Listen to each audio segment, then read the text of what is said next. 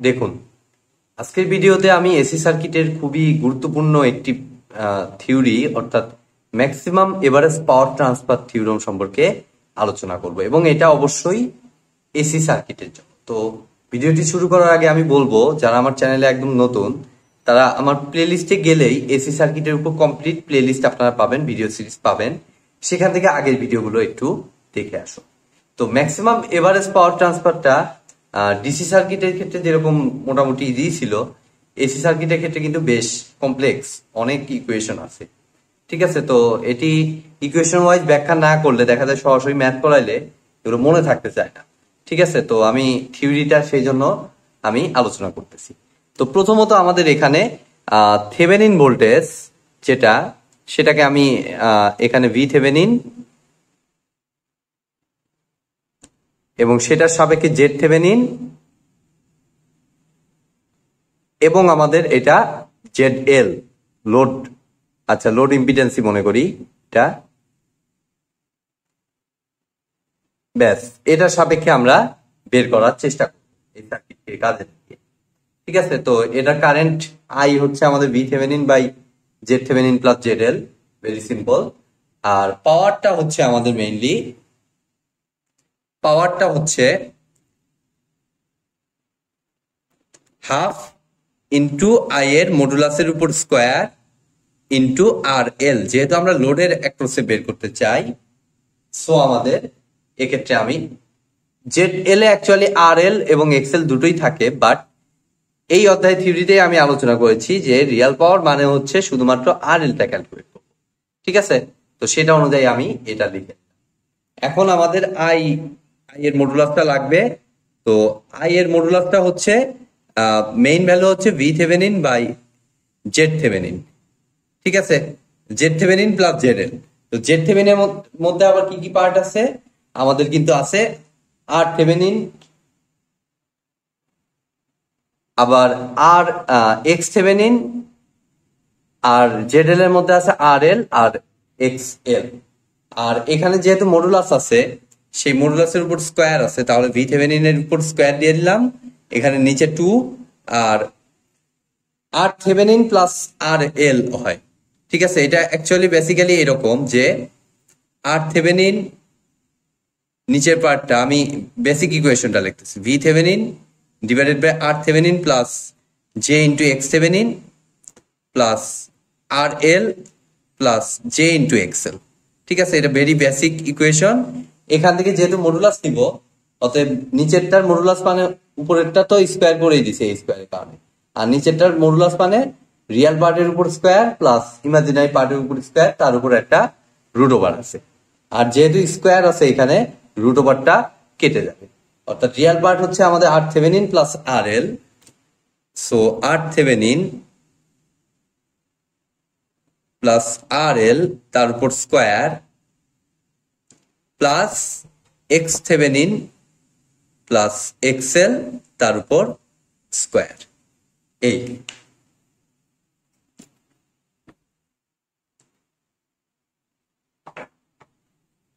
এবং আমরা এটাকে ব্র্যাকেটে বন্দি করে দেই। আর এখানে একটা আর এল ঠিক আছে? এখন আমাদের ম্যাক্সিমাম এভারেজ পাওয়ার হইতে হইলে আমাদের যেটা করতে হবে, এটাকে একবার ডিফারেন্সিয়েশন করতে হবে। অর্থাৎ ম্যাক্সিমাম মিনিমাম কনসেপ্টটা আমরা কাজে লাগাবো। তো এখানে অ্যাকচুয়ালি লোড হিসেবে আছে আর এলও আছে এক্সেলও আছে। তো একবার আর এল এর সাপেক্ষে ডিফারেন্সিয়েশন করব, আরেকবার এক্সেল এর সাপেক্ষে ডিফারেন্সিয়েশন করব। ঠিক আছে? তাই আমাদের কাজ হয়ে যাবে। তো আমি প্রথমে ডিপি বাই ডি এক্সেল করে নিচ্ছি। তো এটা করতে নিলে আমাদের ডিফারেন্সিয়েশনের রুল অনুযায়ী এটা ইউ বাই ভি আসে। ঠিক আছে? অর্থাৎ টু ইন্টু টু যা আছে তাই আর থেভেনিন প্লাস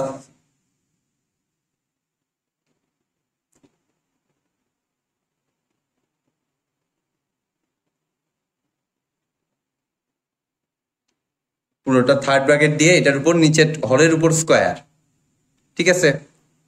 আর উপরে হবে হর হুবহু টু ইন্টু আর থেভেনিন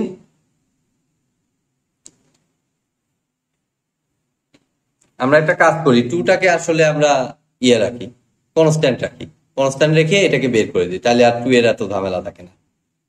ঠিক আছে? অর্থাৎ টুটাকে জাস্ট আমরা নিচে দিয়ে দিলাম, তাহলেই আমাদের হয়ে যাবে।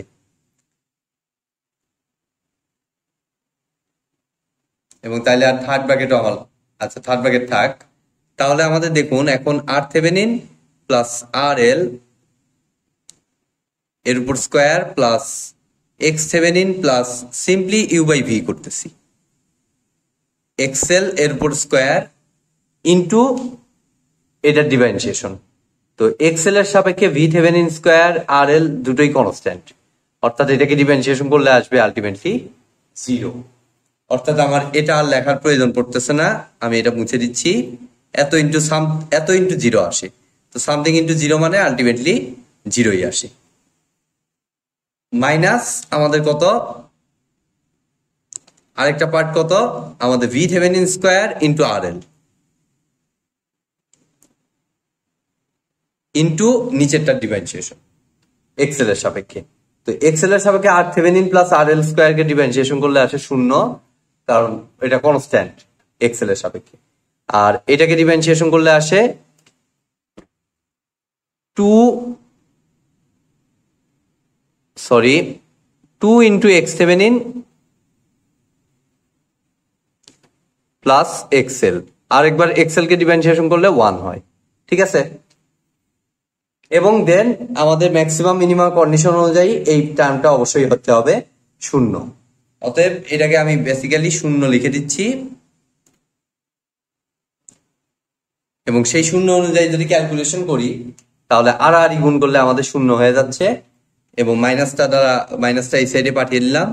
তাহলে V Thevenin square into R L into two উপরে একটা টু আছে, নিচেও একটা টু আছে। তো কাটাকাটি চলে যাচ্ছে। তাহলে X Thevenin plus X L is equal to zero তাহলে হয় ভি থেভেনিন স্কোয়ার সমান জিরো এটা তো বেসিক্যালি সম্ভব না। তাহলে আর এল সমান জিরো এটাও সম্ভব না লোড হিসেবে তো রেজিস্ট্যান্স থাকবেই।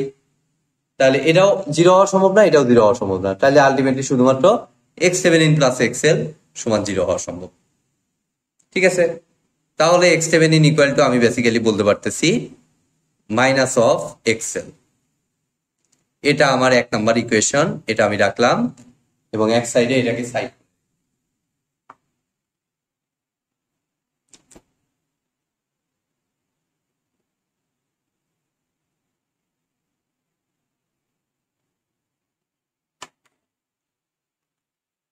X Thevenin is equal to minus X L এক নাম্বার ইকুয়েশন এবার আমরা সেম ওয়েতে এটাকে আর এর সাপেক্ষে ডিফারেন্সিয়েশন করব। আর এল এর সাপেক্ষে সরি তাহলে ডিবি বাই ডিআরএল এটা অনেক বড় একটা রাশিমালা হবে এই জন্য অনেক এই সাইড থেকে শুরু করলাম। টু কনস্ট্যান্ট যা আছে তাই, আর এই পুরাটার উপর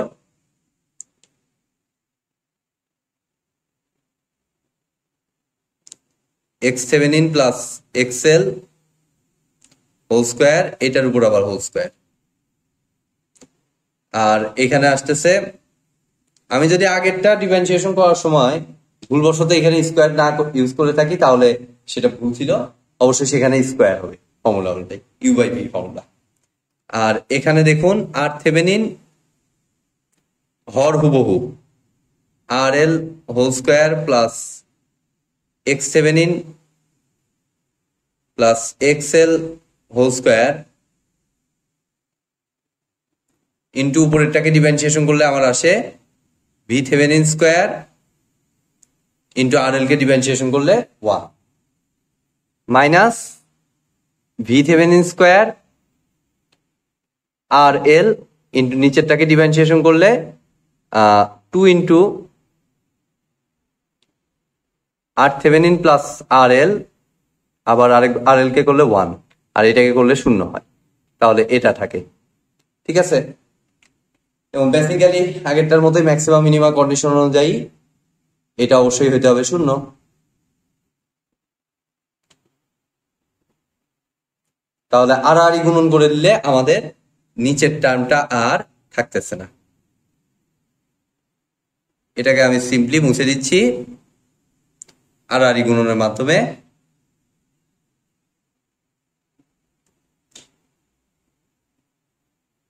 এবং দেখুন, সবগুলোকে আমি ভি থেভেনিন স্কোয়ার দিয়ে ভাগ করে দিতে পারতেছি। যেহেতু জটিল বড় রাশি অনেক হয়ে যাচ্ছে, তাই ছোট করার চেষ্টা করতেছি।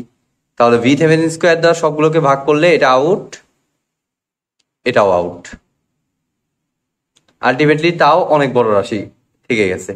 তো এখান থেকে আমি এখন ক্যালকুলেশন করে নিব। ক্যালকুলেশন করে দেখি একটু ছোট বানানো যায় কিনা। তো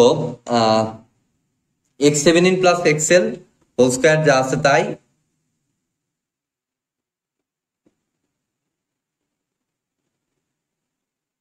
আর এটাকে ক্যালকুলেশন করে নিলে হোল স্কোয়ারে যদি ভেঙে নেই, তাহলে R Thevenin square plus two R Thevenin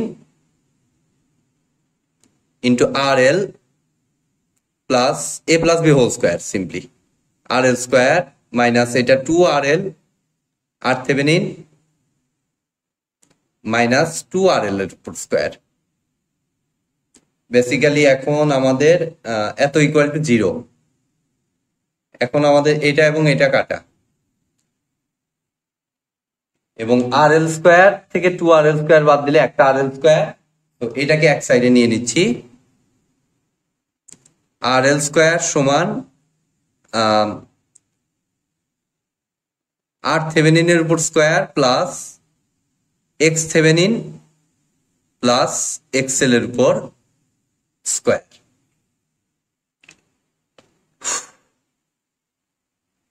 এবং আমি এটাকে দুই নাম্বার ইকুয়েশন হিসেবে রেখে দিচ্ছি। আমরা এটা পরে কাজে লাগাবো। আমি এখানে একটু লিখে রাখতেছি। R L square equal to R থেভেনিনের উপর square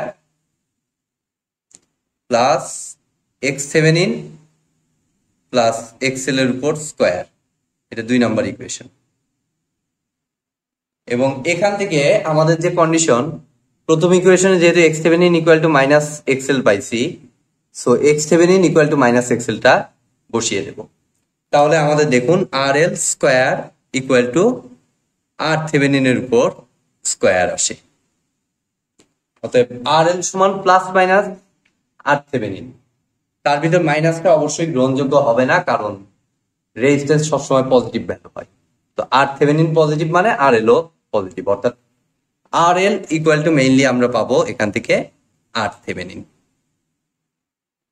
তো এটাকে আমরা তিন নাম্বার ইকুয়েশন হিসেবে রাখব। এটাকেও আমার কাজে লাগাইতে হবে। তিন নাম্বার ইকুয়েশন হিসেবে রেখে আমরা এতটুকু এখন মুছে দেব। আমার আর লাগবে না এতটুকু।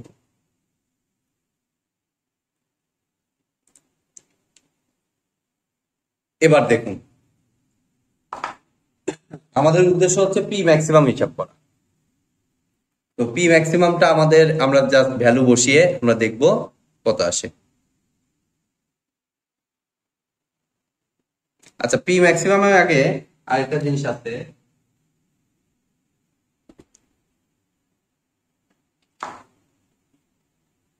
জেড এলটা আমরা একটু দেখব।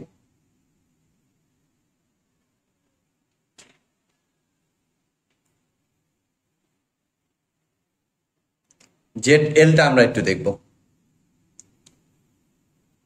Z L equal to actually আমাদের R L plus J into X L তো আর এল আমি যা আছে তাই রাখলাম।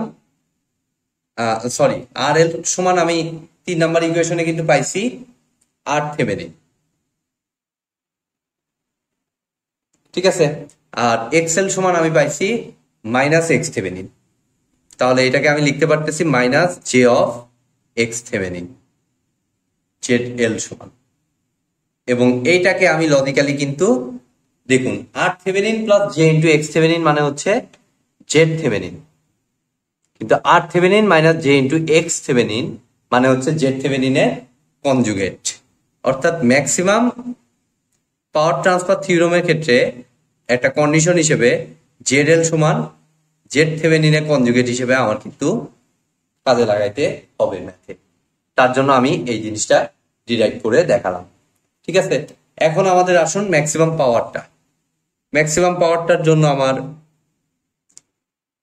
এই যে এই ইকুয়েশনটাতে বসিয়ে দেই।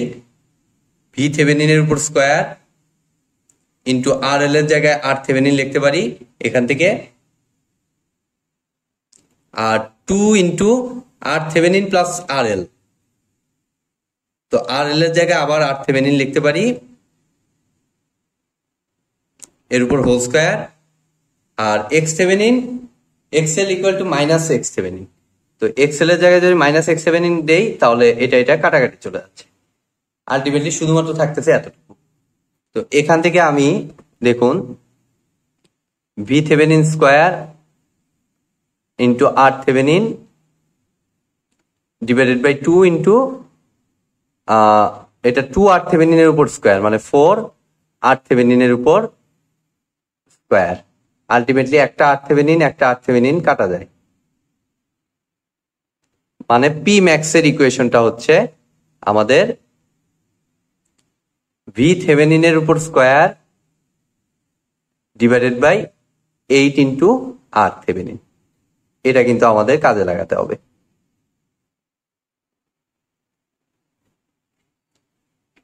ব্যাস, আর একটি ছোট ইকুয়েশন সেটি হলো, এই ক্ষেত্রে কিন্তু লোডটা ছিল আমাদের ইম্পিডেন্স লোড অর্থাৎ রেজিস্টর ইন্ডাক্টর দুই টাইপই বা ক্যাপাসিটর যেটা দুইটা সব টাইপেরই হতে পারে। কিন্তু রেজিস্টরটা যদি ফুললি আমাদের লোডটা যদি ফুললি আমাদের রেজিস্টিভ হয় লোডটা যদি, ভালো করে শুনুন লোডটা যদি ফুললি আমাদের রেজিস্টিভ হয়, তাহলে আমি দেখুন, আমি এইটুকু মুছে দিচ্ছি, এগুলো আর লাগতেছে না। এখানে আমি কন্ডিশনও বলে দিচ্ছি লোড ফুললি রেজিস্টিভ